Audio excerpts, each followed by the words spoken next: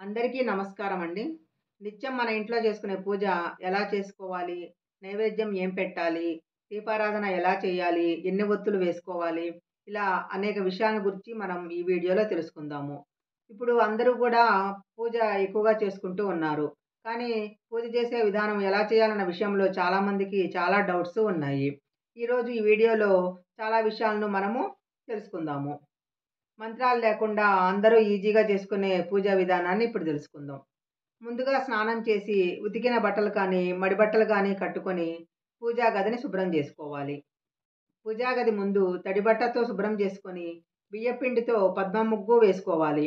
ఆ ముగ్గుని పసుపు, కుంకుమతో అలంకరించుకోవాలి. పూజకు కావలసిన అన్నీ అంటే దీపారాధన కుందులు, అగరబత్తీలు, పసుపు, కుంకుమ, అక్షింతలు, పూలు, దీపారాధన ఒత్తులు, పూజ పూర్తయిన తర్వాత నైవేద్యం పెట్టడానికి అరటి పండ్లు లేదా కొబ్బరికాయ కానీ అవకాశం ఉన్నవాళ్ళు బియ్య పొంగలి ఇలాంటివి ఏదైనా సరే సిద్ధం చేసుకోవాలి. అక్షింతలు మనం తయారు చేసుకోవటానికి కొద్దిగా బియ్యంలో పసుపు కానీ కుంకుమ కానీ ఆవు నెయ్యితో కానీ నువ్వుల నూనెతో కానీ కలిపి సిద్ధం చేసుకోవాలి. దేవుడి పటాలకు ముందుగా ముందు రోజు అలంకరించిన పూలను తీసివేసి పటాలను శుభ్రం చేసుకొని గంధం, కుంకుమతో అలంకరించుకోవాలి.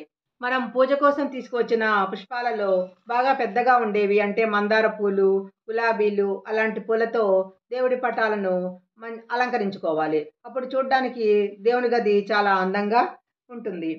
మనము కేశవనామాలు చెప్పడానికి ఉపయోగించే పంచపాత్ర, ఉద్ధరణే ఇవన్నీ కూడా రాగి కానీ వెండి కానీ ఉపయోగించుకోవచ్చు. ఈ పంచపాత్ర, ఉద్దరణ అవి ఎలాంటి పరిస్థితుల్లోనూ మనం స్టీల్‌వి ఉపయోగించకూడదు.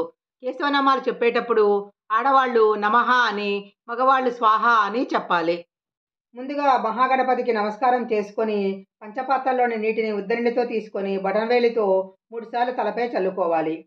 తర్వాత ఏకహారతిని వెలిగించి ఏకహారతికి గంధం, పసుపు, కుంకుమ అలంకరించి ఆ ఏకహారతితోటే దీపాన్ని వెలిగించాలి. అంతేకాని దీపాన్ని అగ్గిపుల్లతో వెలిగించకూడదు.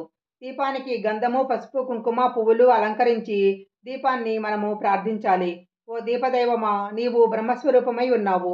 మాకు సకల సౌభాగ్యాలను, సుపుతులను ఇచ్చి మా కోరికలన్నింటినీ తీర్చుమా అని ప్రార్థించాలి. దీపం వెలిగించి గంటను వాయించాలి. గంట దేవతలు ఉండే చోట రాక్షసులు ఉండరు కదా! పరమ పవిత్రమైనటువంటి ప్రదేశంలో దుష్టశక్తులు ఉండకూడదు కాబట్టి ఇక్కడి నుంచి వెళ్ళిపోండి అని గంట కొట్టి దేవతలను లాంఛనంగా ఆహ్వానించటానికి ఘంటానాదం చేయడం జరుగుతూ ఉంటుంది. ఓం కేశవాయ స్వాహ, ఓం నారాయణ స్వాహ, ఓం మాధవాయ స్వాహ అని తీర్థం తీసుకోవాలి. ఓం గోవిందాయ నమః అనుచు నీళ్ళను కిందికి వదలాలి. తదుపరి నమస్కారం చేయుచు కేశవనామాలను చదువుకోవాలి. కేశవనామాలు పూర్తయిన తర్వాత కొంచెం నీళ్ళు పళ్ళెంలో విడవాలి. ఆచమనానంతరము భూశుద్ధికే భూతోటర్చన మంత్రము చదువుతూ కొన్ని అక్షతలు వాసన చూసి వెనుకకు వేసుకోవాలి. తరువాత గోత్రనామాలతో సంకల్పం చెప్పుకొని కొన్ని అక్షింతలను నీరు కలిపిన పళ్ళెంలో విడవాలి. అనంతరము కలసారాధనం కరిషి అని కలసారాధన చేయాలి. ఆచమనం చేసినటువంటి పంచపాత్రలోని నీళ్ళు దేవుని పూజకు వినియోగించరాదు. పూజకు విడిగా ఒక గ్లాసు కానీ చెంబు కానీ తీసుకొని దానిలో శుద్ధ జలమును పోసి ఆ చెంబునకు కలశారాధన చేసి ఆ నీళ్ళు మాత్రమే దేవుని పూజకు ఉపయోగించాలి. కలశానికి గంధం, కుంకుమ బొట్లు పెట్టి కలశంలో ఒక పువ్వు, కొద్దిగా అక్షింతలు వేసి కుడి చేతితో కలశమును మూసి కలశానికి మంత్రాన్ని చదవాలి. తదుపరి షోడశోపచార పూజ చేయాలి. అర్ఘ్యం, పాద్యం, ఆచమనం మొదలగు వాటికన్నిటికీ ఉద్దరణితో నీరు స్వామికి చూపించి వేరొక పాత్రలో వదలవలెను. పంచపాత్రకు కింద అంచుపళ్ళెములో వదలరాదు. మద్ మధుపర్కం సమర్పయామి అనగా స్వామివారికి స్నానం చేయుటకు వస్త్రం ఇచ్చుచున్నాము అని అర్థము. ఆయన ప్రతిమకు మధుపర్కమును అద్దాలి. పత్తిని పెద్ద బొట్టుబిళ్ళ సైజులో గుండ్రముగా చేసి నీటితో తడిపి ఆ పైన రెండు వైపులా పసుపుతో అద్ది ఉంచుకున్న దాన్ని మధుపర్కము అంటారు. అలా వస్త్రయుగ్మం సమర్పయామి అనుచు వస్త్రమును స్వామివారి ప్రతిమకు అద్దాలి. ఉపవేతం సమర్పయామి అన్నప్పుడు జంజమును ఇవ్వవలెను. ఇది కూడా ప్రతితో చేసుకోవాలి. పత్తిని తీసుకొని పసుపు చేత్తో బటనవేలు మధ్యవేలుతో మధ్య మధ్య నలుపుతూ పొడుగుగా చేసి కుంకుమ అద్దవలెను. దీనిని పురుష దేవతలకు మాత్రమే సమర్పించవలెను. పూజ పూర్తయిన తర్వాత మనము నివేదన చేసే పదార్థాలపై నీరు చిలుకుచూ ఓం బుర్భ స్వహ ఓం తచ్చ తత్సవితుర్వరేణ్యం భర్గో దేవస్య ధీమహి. ధియో యోనః ప్రచోదయాత్ అనే మంత్రం చెబుతూ పుష్పంతో నీటిని నైవేద్యం చుట్టూ మూడుసార్లు సవ్యదిశలో తిప్పాలి. ఐదుసార్లు దేవునికి నైవేద్యం చూపిస్తూ ఓం ప్రాణాయ స్వాహ ఓం అపానాయ స్వాహ ఓం యానాయ స్వాహ ఓం ఉదానాయ స్వాహ ఓం సమానాయ స్వాహ అని మంత్రాలు చెబుతూ పుష్పంతో నీటిని దేవుడి పైన చల్లాలి. మధ్య మధ్య పానీయం సమర్పయామి అని శుద్ధాచమనీయం సమర్పయామి అని చదవాలి.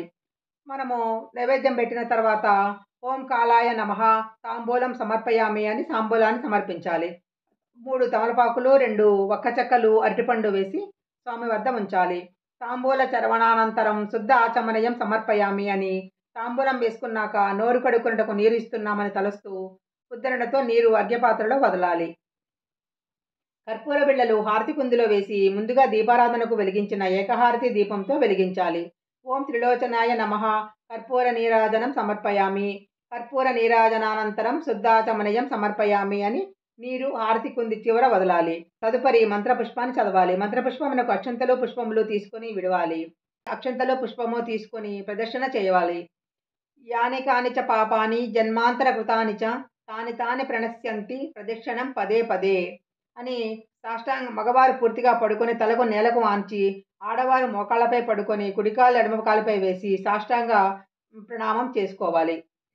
ఆ తర్వాత మళ్ళీ కూర్చొని కొన్ని అక్షంతలు చేతిలోకి తీసుకోవాలి.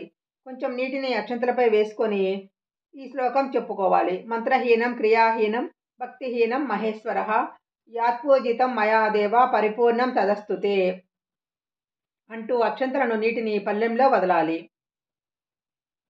శ్రీ పరమేశ్వర ప్రసాదం శిరసా గృహన్నామి అని పూజాక్షతలను శిరసన ధరించాలి.